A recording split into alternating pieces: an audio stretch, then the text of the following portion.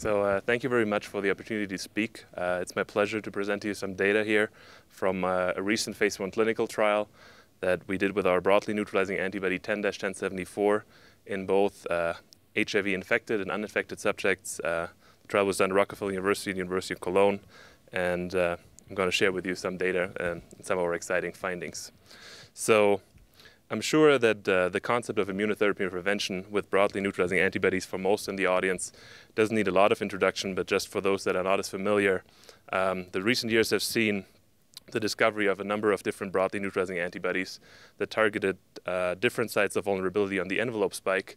And our ultimate goal would be to use these in the setting of immunotherapy prevention uh, in human subjects in a combination. So, so far, this concept of using these antibodies in humans has been uh, explored for two antibodies, uh, VRC01 and 3BNC117. Both of these target the CD4 binding site, but we really don't know much about antibodies that target other epitopes and whether or not they would be safe in human subjects, and also whether they have antiviral activity. So we chose to focus on another group of antibodies that like patch antibodies, and we have a candidate called 10-1074 that we want to advance into clinical development. So 10-1074, for those of you that are not familiar, was isolated uh, from an IAVI donor, the same as uh, PGT 121 to 124 were isolated from, was isolated by bait sorting. For the purpose of this study, we made it as an IgG1 subtype antibody, we made no modifications, so this is not an LS variant or any FAB modification uh, of any sort. So we used the parental antibody as it was, as we pulled it from the human subject. Um, and this antibody, as goes for all the members of this antibody class, is very, very potent. It's a little less broad than CD4 binding site antibodies, but still pretty broad. And what you can see at the bottom, we've already successfully tested this antibody uh, both in the subject of prevention, in the context of prevention and treatment in uh, non human primates. So with that knowledge, we then set out to do a phase one clinical trial where we infused a total of 33 individuals, uh, 14 HIV negative, 19 HIV positive. We gave them a single infusion of 10-1074, as you can see here at three different dose levels. So we had a dose escalation phase where we escalated from 3 milligrams per kilogram all the way until 30 milligrams per kilogram, and then gave a larger number of subjects uh, that high dose. And you can see here that we followed subjects for a total of 24 weeks. Are two more things that I uh, want you to take away from the slide. First of all, the lowest dose groups in the HIV positives in the study were all on ART, while the rest of the subjects were all chronically HIV-1 infected viremic subjects. So I'll uh, show you some viral load data on those later. And the other thing is uh, that you can see here that in any of the dose escalation phases, we only always infuse three individuals. That essentially already tells you that the infusions were super safe, uh, well tolerated. We didn't run into any problems. Um, so in that respect, uh, a good um, clinical product. So the next thing we then looked at is whether or not this antibody is uh, stable over long periods of time in human subjects. Uh, we did that by TZMBL assay. So we took sera from patients after 10-1074 infusion, and as you can see here, we then tested them against 10-1074 uh, sensitive strains that were not sensitive to autologous serum, and what's shown here are geometric means of the three different dose groups. These are non-infected subjects. And what you can appreciate is that the antibody has a pretty solid half-life. It lasts for about 12 weeks in the lowest dose groups and lasts actually for about half a year um, in the higher dose groups. And that works out to a half-life of a little more than three weeks. We also then looked in HIV-1 infected subjects. You see here the half-life is only about half of what it is in the other group. Uh, the decay is much more rapid, and that's something that we've already observed with our other um, candidate, 3BNC117. We think that that is due to uh, defective envelope protein floating around and capturing the antibody. Um, but you still see the antibody even in this dose group, uh, or the HIV infected, last generally for um, about three months. So also a pretty solid half-life. So now the next question, obviously very interesting for treatment, is does the antibody have antiviral activity in human subjects? And so as I said, the three milligram per kilogram subjects were all on ART, so I'm only showing you the higher dose groups here. And you see here, these were subjects that received 10 milligram per kilogram. We had three subjects, viral load here around 10 to the 4. And you can see here in the relative log drop plot and then here in the average for the group, subjects dropped by about 1.4 logs. Um, they do so about a week after infusion, and then they return to baseline about four weeks after infusion. If you then look at the higher dose groups, what you'll first of all notice down here, we had two subjects that did not respond to the antibody, We can pretty easily explain why that is, um, and that's because of mutations in 10-1074 contact sites. But we had 11 subjects that you see here that very nicely responded to the antibody. Average log drop here is somewhat similar, about 1.5 logs. Looks like subjects maybe take a little bit longer um, to return back to baseline, but that's probably due to these two uh, super nicely responding subjects down here. On average, it actually looks uh, like the 10 and 30 milligram per kilogram dose group are somewhat comparable, but with a small n, that's kind of hard to say at this point. But the other thing that you will probably already think about is having seen the half-life data that I showed you in the previous slide, that these patients must be rebounding at pretty high levels of antibody, and that's actually true. So they rebounded about 60 micrograms per val of 10-1074. So what happened to the virus? Um, and for the sake of time, I'm going to show you or illustrate what happened to the virus. Uh, first of all, here at the example of one subject. This is 1HT3, subject that received 30 milligrams per kilogram. We have here a phylogenetic tree obtained by single genome sequencing of envelope. See two time points in gray pre-infusion and then in red four weeks post-infusion. And what you can easily see is that the red sequences and the gray sequences are intermingled. If you pay attention to the scale, uh, this is a fairly diverse subject, so it has a fairly diverse HIV-1 population, but you still see that a variety of different envelope strains that are present in this individual are able to give rise to an escape variant, indicating that it's not a single virus we're bottlenecking for, but that any given virus in this individual is pretty much able to generate escape to this antibody in some way. So in order now to understand how that happened, I just briefly want to recapitulate how 10-1074 binds to the HIV-1 envelope spike. So this is a crystal structure obtained by Harry Gristic and Pamela Bjorkman's lab um, of 10-1074 with a fully glycosylated BG505 trimer. And what you can see from the structure, you see it here already, and then you see it better here in the detail, is that 10-1074, and that's in contrast to other lichen patch antibodies, buries most of its surface with a 332 glycan. So that's uh, one of its most important contacts to hold on to the virus.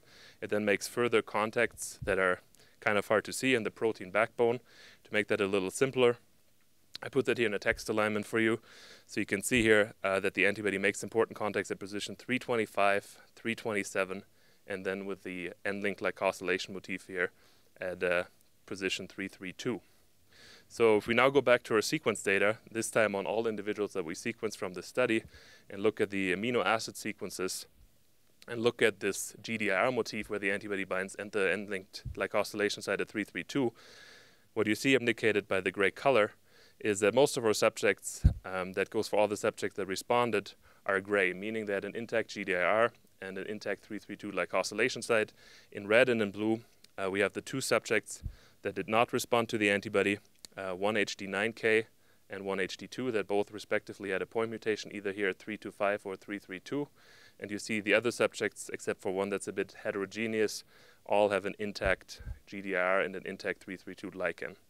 Four weeks after the infusion, that picture completely changes, and what we see is that 90% of sequences, or actually more than 90% of sequences, carry a point mutation at one of three positions. So there's mutually exclusive point mutations either at 332, 334, thus deleting the 332 lichen, or at the 3 to 5 position. You see this here also um, uh, broken down by patient, and you can see that in any given patient, the majority of sequences four weeks after infusion are mutated, and you see that there's a little different pattern across patients, but there's some mutations that always recur. And what you can also appreciate is that the 332 and 334 site um, have a number of different mutations that occur, while 3 to 5 seems to be a restricted spectrum of mutations that we observed. So we then went ahead, obviously, and tried um, or tested pseudoviruses. So what we did is we went to the phylogenetic trees and picked paired day zero and week four viruses um, to uh, get down to the fact that there's single mutations that mediate escape. And what you can see here is that all the viruses, as expected, were very, very 10-1074 sensitive before infusion. And then the viruses that we tested, except for the few ones that were gray in the other slide, all have completely lost sensitivity to the antibody. And that's mainly also true for binding by PGT121, an antibody that was cloned from the same individual, where we had one uh, subject, though, where the envelope backbone somehow still allowed binding of PGT121, but not of 10-1074. But on a positive note, and what you can see here, um, on the right side of the slide, is that sensitivity to other broadly neutralizing antibodies was not changed, so combination therapy um, still seems like a very promising concept.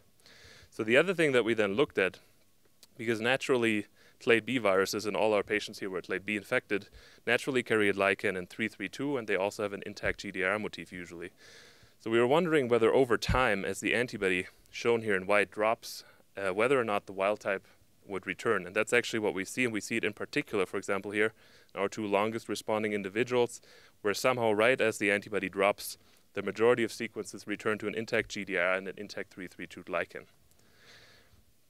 So that to us somehow highlighted at least that there's a relative fitness loss, even though viruses were able to replicate in the presence of 10-1074 quite well. But it seems like as um, as there are wild type alleles competing with them, they lose out. The last aspect that we then looked at is how fast do these escape mutations arise? What are the kinetics? And what you can see is that there's a heterogeneous mixture. So we have some individuals uh, shown here where most of the sequences one week after infusion are still unmutated. And we have some individuals that you see here where most of the sequences are already mutated one week after infusion. And 1HD1 was one of our fastest rebounding individuals, uh, so we decided to take a deeper look at that individual. So we paired up with uh, Ben Murrell at UCSD did Pacific Biosciences smart sequencing on the full-length envelope. And I'm again showing you here a phylogenetic tree. You see that generally, besides the fact that there's many, many more sequences, it recapitulates what I showed you um, with the other individuals. So you see there's intermingling of day zero and week four sequences across the entire tree. But once you get to the depth of a few hundred viruses uh, that we think we sequenced here, what you start seeing are very rare escape variants, similar to a frequency what's been published for some of the ART drugs, We see here, for example, this mutation at 325 that comes up later, and this mutation here at 334 that also comes up later in this patient, which I think highlights an issue that we have to think about down the road, which is uh, whether or not there's some degree of pre-existing resistance in people to some of these broadly neutralizing antibodies. So with that, I um, already am at the end of my presentation. I want to conclude that 10-1074 uh, infusion was very safe and well tolerated. The antibody has good pharmacokinetic properties, uh, has a very good half-life in human subjects. It is antivirally active in subjects that are infected with sensitive viruses. It surprisingly led to a very convergent form of evolution, which is very different from what was observed in the CD4 binding site antibody studies, where different subjects made very different escape mutations. Here, we saw a very consistent picture um, of 332 lichen loss or 325 mutation. Um, but in total, I think we can actually already conclude that lichen patch antibodies seem like promising agents uh, in combination regimens for immunotherapy and prevention down the road. And there's a, a, lot of people I have to thank for this work. Uh, for the sake of time, there's two that I bolded here that I really want to highlight. That's Marina Kasky, who leads our clinical team at Rockefeller University, and uh, Florian Klein, who leads a clinical team at our partner site, the University of Cologne, uh, who has been very helpful uh, in providing us or uh, recruiting uh, viremic subjects for our trials. Um, and that's basically it. Thank you.